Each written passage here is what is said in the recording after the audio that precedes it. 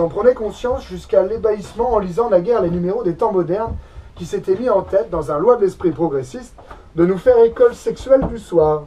Je ne connais pas Madame de Beauvoir, ce qu'on peut deviner de son caractère inspire de l'estime. Et je n'oublie pas euh, qu'elle nous a donné avec l'invité, sans doute, d'assez loin jusqu'ici, le meilleur roman existentialiste. Il y avait en tout cas euh, du courage de sa part. Une femme a abordé ce sujet, sans espoir à peu près comme une chrétienne qui descend dans le cirque.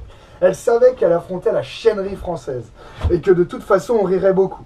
Mais hélas, ce n'est pas de rire qu'on avait envie. On était glacé, scandalisé. Pas du tout, oh non, comme quand on lit un érotique, mais plutôt comme quand Poincaré, très à l'aise, pérorait dans les cimetières par une atterrante, une suffocante inconvenance de ton. Mais quoi? Une certaine grossièreté d'épiderme qui hérisse le toucher glorifie aujourd'hui d'abord une œuvre littéraire.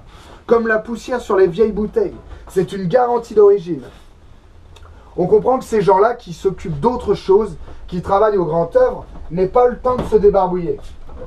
Nous en sommes venus à l'époque où, en littérature, enfin, et sérieusement cette fois, Caliban parle. La métaphysique a débarqué dans la littérature avec ce roulement de bottes lourdes qui en impose toujours. Pour commencer, on regarde passer ces occupants étranges, ces grands barbares blancs, en leur demandant le secret incompréhensible de leur force, qui n'est que l'inanité passagère de ce qui s'alignait en face. Un ami qui s'occupait de la rédaction d'une revue littéraire me part un jour de son effarement devant la marée montante de topos, euh, de topos difformes, jaspériens, husserliens, kiergardiens, qui venaient battre sa porte. Il y avait là toute une tribu affamée, longtemps contenue aux lisières, qui passait par la trouée, entendait s'installer comme en pays conquis sur cette terre du grand public qui rapportait infiniment plus que ses landes. Avec armes et bagages, avec ses mœurs, ses divertissements, à elle, sa langue, l'agrégé inconnu des indigènes. Les portes à la vérité se refermèrent assez vite après saturation, mais déjà tout un petit peuple, aux mœurs curieuses, avait colonisé la littérature, qui semblait circuler par une trappe secrète entre les lieux d'aisance et la revue de métaphysique et de morale, et venait parfois remettre en mémoire le mot de Sainte-Beuve. Il faudrait percer une porte directement de l'écurie de la bibliothèque, et quand Francis Michel a fini dans l'une, le pousser dans l'autre, mais jamais le, salon à ces gens.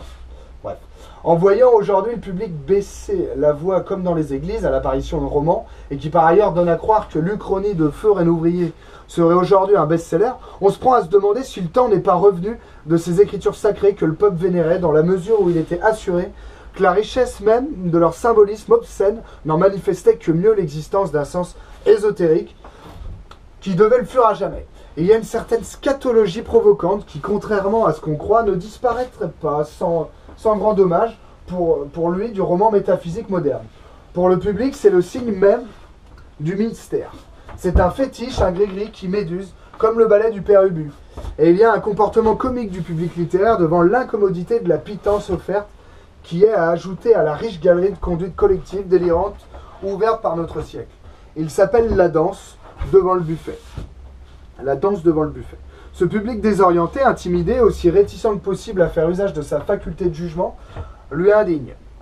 Encore que les circonstances le mettent, comme nous l'avons vu, dispose tout de même d'une défense. Si peu décisive que la pratique lui en paraisse, la décision se faisant ailleurs, à tout le moins il ne s'est pas déshabitué de la lecture. Mais voici que reflue sur lui, pour le troubler et le décontenancer davantage, la réaction moins authentique encore, mais convaincante par sa masse, d'un autre public, le public qui ne lit pas. Il est, permis de, supposer le contrôle, le contrôle, il est permis de supposer, le a quelques décades encore n'influaient guère sur la réputation des écrivains, les gens qui ne lisaient pas. Ne serait-ce que pour cette raison que, ne les lisant pas, ils n'avaient alors guère d'autres moyens de soupçonner même leur existence. Peut-être portés par les livraisons à bon marché, certains grands noms de la littérature du moment retentissaient-ils jusque dans le fond des provinces, dans les communes rurales, peut-être Balzac, plus probablement, mais alors diffusés à la manière de tracts électoraux, les rouges, Courrier, Eugène, Su, Victor Hugo. Et encore, on sait de combien Lamartine en 1848 se méconta là-dessus. Au total, peu de choses. Quiconque parlait de littérature en parlait plus ou moins en connaissance de cause. Il avait lu. Une réputation pouvait ne correspondre que d'assez loin à l'opinion moyenne des lecteurs. Elle ne dépendait en tout cas des non-lecteurs. En aucune manière. L'estimation qui se faisait au jour le jour de la littérature du moment offrait un minimum de garantie tout au moins en ce que cette estimation avait de positif. Et il y avait des méconnus, des poètes, euh, des poètes maudits, mais au total, les noms que le public du 19e siècle a tenus pour vraiment grands, les sont restés, pour nous, dans l'ensemble. Il ne nous a pas tellement légué de gloire usurpée par de, de, tellement voyant, pas tellement, sauf une, cher aux auteurs euh, de manuels et qui reste le cas classique du crack posthume en littérature. Béranger. Il est singulier qu'on n'ait jamais, du moins à ma connaissance, tenté d'élucider un cas d'aberration collective qui jette un jour si curieux sur les écarts de jugement du public cultivé, à partir du moment où l'interférence massive d'une zone plus obscure de l'opinion influence. L'influence. Le chansonnier Béranger, traité en père par Chateaubriand, euh, par les grands romantiques, homologué par Sainte-Beuve, de par le caractère spécial de son genre et le type même de l'écrivain qu'on ne lit pas. Je veux dire par là en faveur duquel un plébiscite des gens qui ne lisent pas puisse intervenir, et intervenir d'abord, du seul fait matériel qu'on commence par le chanter au coin des rues. Vers, lorsqu'ils arrivent aux oreilles des connaisseurs, du fond de l'énorme caisse de résonance de la rue parisienne, se transfigurent d'être portés sur une espèce de gloire sonore et confuse dont ils ne sont plus séparables. Il est à croire que les contemporains, même du goût le plus fin, ne les entendaient littéralement pas. Le cas Béranger est un cas d'annihilation complète du goût averti. Aliéné qu'il est, traumatisé par un état de foule qui se communique à lui, euh, quoi qu'il en est, qu'il pénètre de part en part. Il en faut de loin que les frontières du public, euh, entre guillemets, actuel de la littérature soient aussi précises, comme si la lumière lui parvenait dispersée, décomposée par un prisme. Toute une frange vaguement éclairée fait aujourd'hui au public qui lit comme un formidable halo crépusculaire, vers lequel la littérature, qu'il n'a ni l'envie ni la curiosité d'approcher, semble propager pourtant des rayons fragmentaires, réfractés, brisés, méconnaissables, et qui lui parviennent comme au travers d'énormes épaisseurs. C'est que le moyen de diffusion aujourd'hui, presque artisanal, qui est devenu l'imprimerie, comme un poste émetteur trop faible, se trouve relayé bon gré mal gré par un luxe de moyens mécaniques à la fois simplifiants et grossissants, à la limite de portée desquels quelque chose la voix de l'écrivain parvient, à la- foule, mais lui parvient à peu près comme l'éructation indistincte de ces haut-parleurs qui glapissent sur le tintamarre d'une fête foraine. Comme un bruit de fond. On pourrait, l'étude en vaudrait la peine, mais ce n'est pas notre propos, tenter de délimiter ces zones de spectre infralittéraires. Rouge du public des ventes, braderies, congrès, vernissage, expositions, rencontres, signatures et autres manifestations littéraires. Jaune des condensés et des digestes. Vert des magazines et journaux du dimanche, la littérature attrayante, mise en farce et attrape, en comic strip. Bleu du cinéma, violet enfin, suprême clairon plein de strideurs étranges. Silence traversé des mondes et des anges, de la radio, où le mugissement de la littérature vient mourir au bord de l'infini. Quel message peut bien transmettre un écrivain?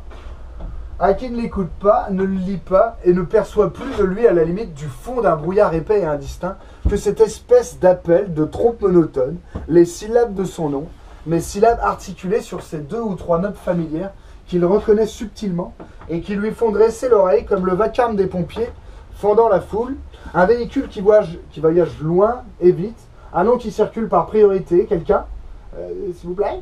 Une aliénation étrange le défigure. On dirait qu'à mesure que se distendent davantage et s'enténèbrent les rives euh, de plus en plus lointaines où son nom aborde, il abandonne quelque chose de ce qui se faisait son poids et sa consistance.